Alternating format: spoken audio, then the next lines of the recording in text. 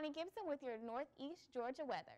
Today we're going to have some cooler temperatures, some possible evening storms, and clear skies tomorrow and throughout the weekend.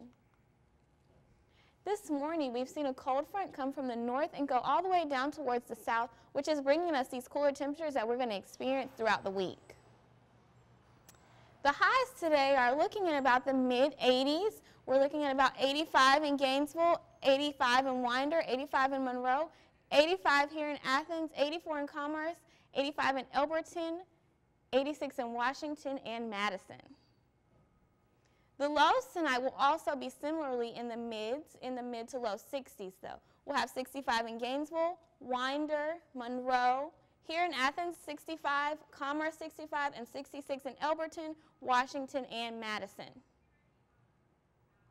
The highs tomorrow will be in the mid 80s with 81 in Gainesville, 83 in Winder. We'll have 83 in Atlanta as well, 84 in Madison, Athens, 86 in Washington, and the surprisingly low 78 in Elberton. This evening, we'll have a slight chance of showers from about 8 this evening to about 1 in the morning. We'll have some calm winds, too, to go along with that. Tomorrow we'll have a beautiful day with a mostly sunny skies and a high of 84 with some cool breezy winds coming out of the north at about 5 miles per hour.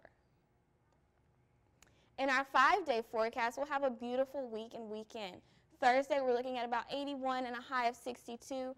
Friday, 80 and 60. Saturday for the noon kickoff against Troy, we'll have a beautiful day for some football with 80 and a low of 60. On Sunday, we'll have just a slight chance of um, showers with a 20% chance of rain and partly cloudy skies.